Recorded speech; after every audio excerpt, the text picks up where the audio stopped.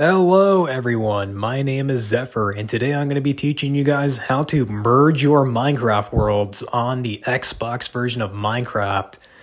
You're going to need a couple of apps and they're relatively cheap. The first one is going to be called My File Explorer. It's going to be this purple app right here and as you can see it's $2.60 but for this one you can just get the free trial because once you open it it's going to make you download this app, Expansion for Explorers, and that one I do recommend you buy. But just for the sake of this video, I made two very basic worlds, two super flats. I named them respectively like and subscribe, and that's something that you should do if you enjoyed this video and it helps out. But as you can see, I made this lovely little house. Super simple, super nice. And I wanted to make sure I packed it with as much stuff as I could just to showcase that this will transfer pretty much everything, even chests. I put a chest inside of a chest. So once you've opened up your expansion for Explorers, you're going to be greeted with a bunch of shortcut folders. If you don't have them or if they don't show up, don't worry. I'll show you how to access your Minecraft folders using a different method. So just make sure you're paying attention. But if you do have them, go into your MC worlds and just look for the worlds that you want to merge and just copy them. Make sure you have a USB or some other external hard drive plugged into your Xbox and then go into the removable drive folder and paste it in there. Don't worry about these files, they're completely unrelated that I have on mine. Those are files I use for 3D printing. But uh, this is the part you're going to want to make sure you pay attention on if you do not have your shortcuts. You're going to want to look for your Microsoft.mojang, local state, games, com.mojang, and here are all of your folders for Minecraft. So once again, just go into your worlds, locate the worlds you want to merge, and do the exact same thing that I just showed. I should also point out that I had a really weird glitch happen to me to where any new worlds I try to make no longer appear on here, so that's the reason why some of my worlds are named, because I had to download them. So once you're done with the previous steps, you can now move on to your PC, and the first thing you're going to want to do is you're going to want to go onto the internet and search up MCA Selector. This is a program that you're going to want to download on your computer. And here is where you go to get it.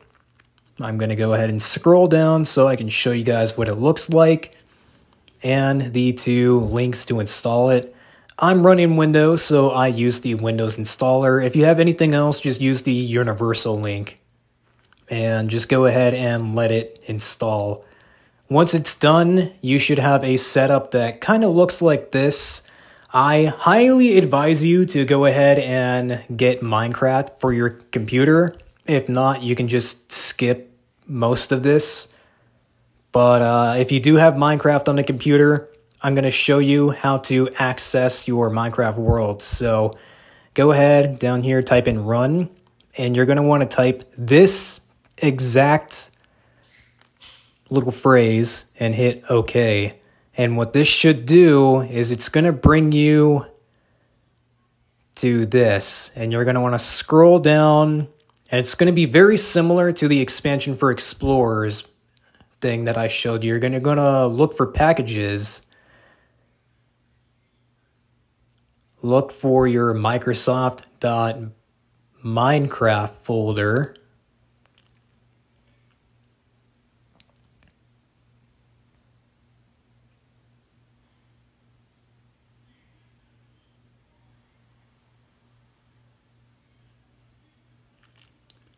There, there it is. Local state, games, com.mojang, and voila. Now, I highly recommend making a shortcut for your Minecraft worlds as it'll make things so much easier for you rather than having to do this step every time.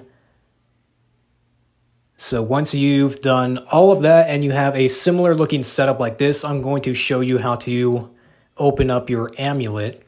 So you want to double click on that folder, scroll down until you see the amulet app.exe. You double click on that and it will open up amulet. But now you're going to want to go ahead and plug in your USB, hit copy on the two worlds, and this is exactly why I said it's very important that you make a shortcut. Because from here, you're going to want to paste them into your Minecraft Worlds folder, and they'll just go right in like usual. Make sure you do that to both of them.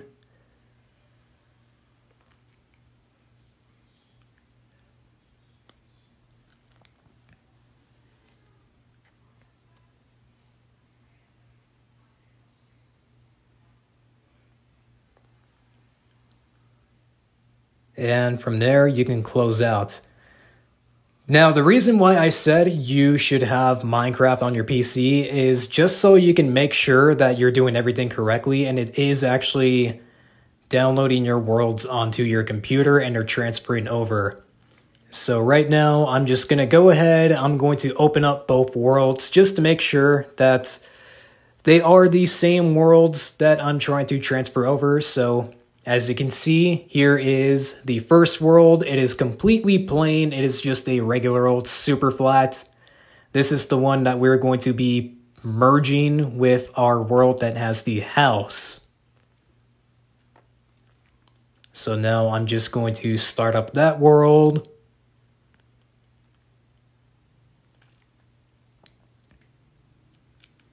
And as you can see, it is the exact same world, exact same house, and everything. So you do not really have to do this part. I just recommend you do it to make sure everything's working. But now you're going to want to go ahead and open up your amulets and everything is going to be done on here. Amulet so far is the only real like world merging app, the only real like world edit app that uh that I know works for Bedrock which is the version of Minecraft that runs for the Xbox and Nintendo Switch. Pretty much console version of Minecraft is Minecraft Bedrock, and Amulet is the only Minecraft Bedrock like world edit app that I know works. So once you've opened up Amulet, you're going to want to go ahead and select the world. Once you have a world, just go over to 3D editor, and this should take a second. Now, one thing I will say about using Amulet is that you have to be extremely patient when using it because it runs even worse than Minecraft. It is unbearably slow, but it's worth it in the end because this is the only real tool that I know of that'll let you like mass merge entire cities. I am just doing a small little house for the sake of the video, but I have actually transferred entire cities into one world.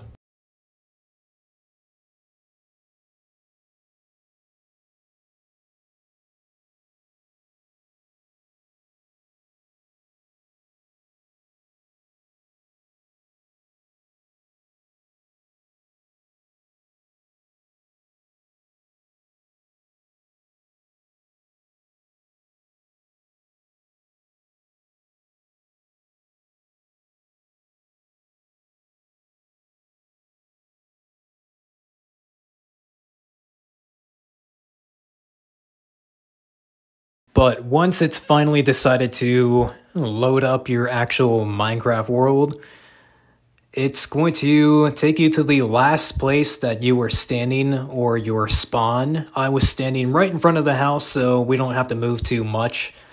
And it's going to give you a basically a replica of your Minecraft world, and it's going to have these little tools on the side.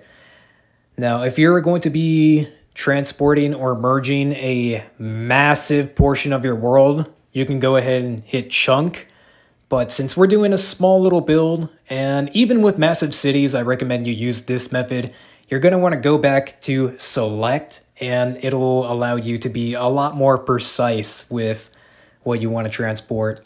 Now, because this house is really small, it's going to be really easy, but uh, you just go ahead and find a corner of your build and left click on it, and it's going to bring these colored boxes, and you want to just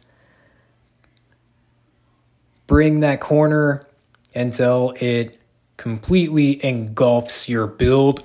Now, don't worry about it being perfect because you can use the little menu on the side to get it just right. So once you have it to where you're happy, you can come over here to this little sidebar and customize it to where it is just perfect exactly to how you want it. So as you can see, I am going up and down on these little uh, on these little bars you can make it higher or lower so you can have it sitting above ground or you can sink it into the ground just a little bit.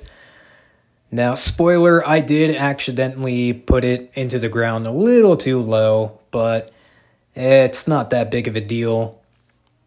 But uh, as you can see, you can do a whole lot of stuff with this.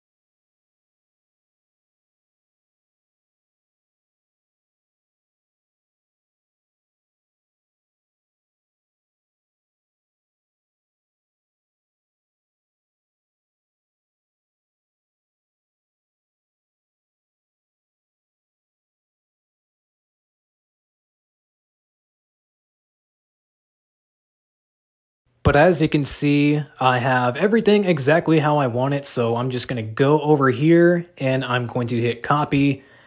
And from here, you're going to want to hit main menu because you can now open up the world that you want to paste whatever you want to merge into. So I guess merge is kind of the wrong word to be using. You're really just copying and pasting builds, but if you think about it, it is merging two worlds together. But uh, just open up the world that we're going to be pasting this into. And wow, this actually loaded up kind of fast for once. Come on.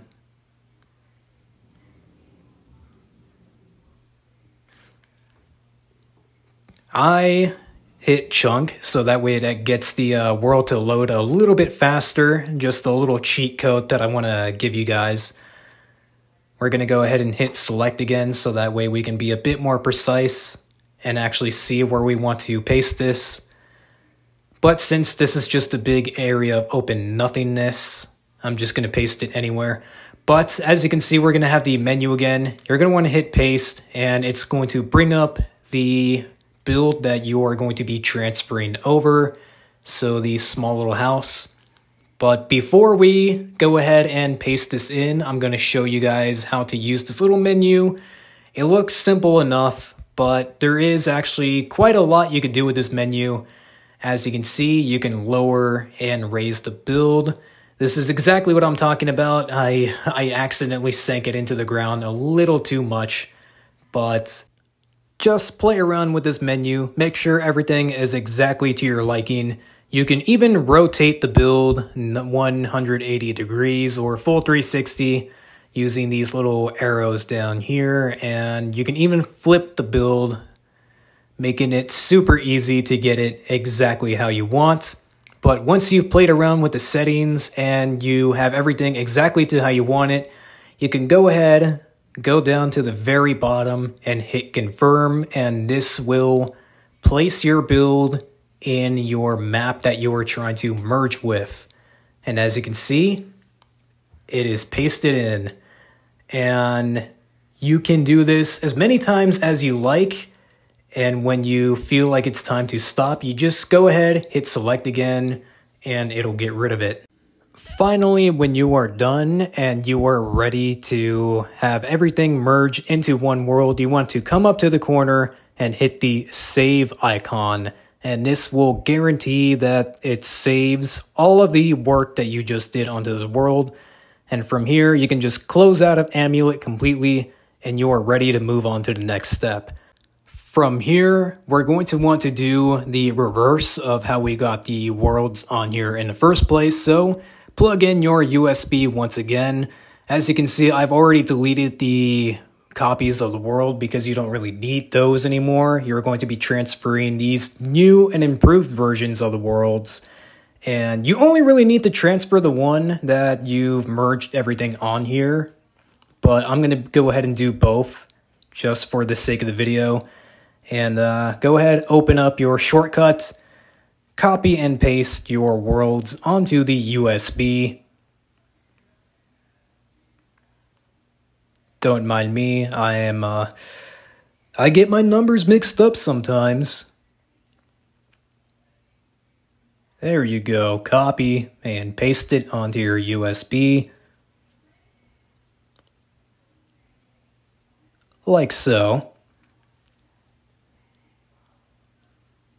And once again, you don't really have to do this step. I am just doing it to prove to you guys that it does work.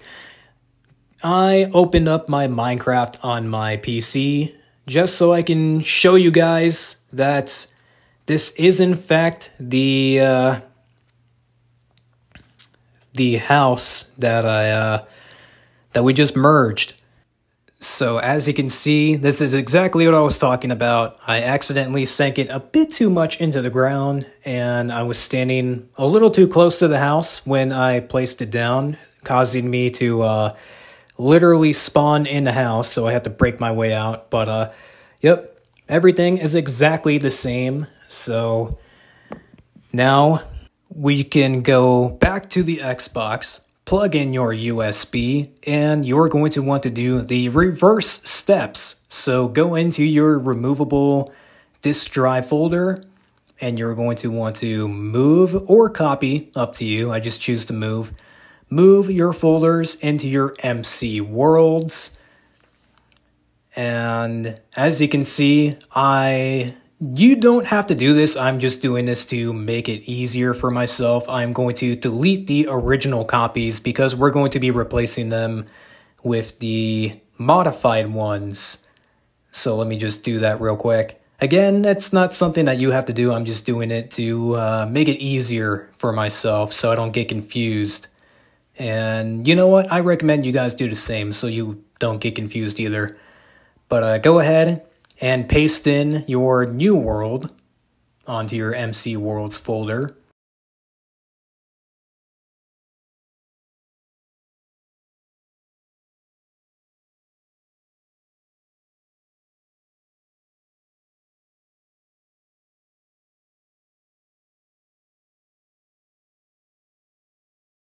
Once you're done, this next step is very important because you will screw up if you just straight up launch Minecraft. It's going to sound very weird, but you're going to want to go to your Minecraft and just straight up uninstall it, uninstall all versions of Minecraft that you have.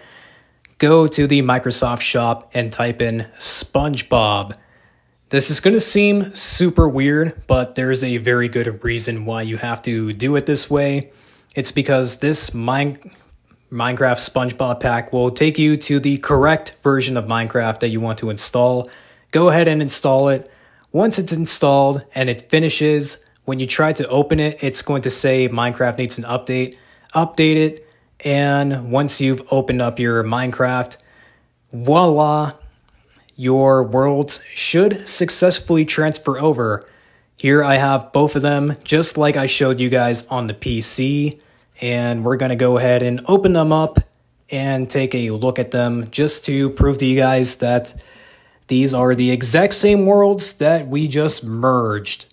So I hope you guys found this video very helpful because I think I might be the only person on YouTube to actually show you how to merge Minecraft worlds for Minecraft Xbox or Minecraft Console Edition because believe me, I've looked and looked and no one has actually made a video on how to do it. I will be leaving comments turned on, so if you guys have any questions, I will do my best to try and answer them. But as always, be sure to like and subscribe as it greatly helps out the channel.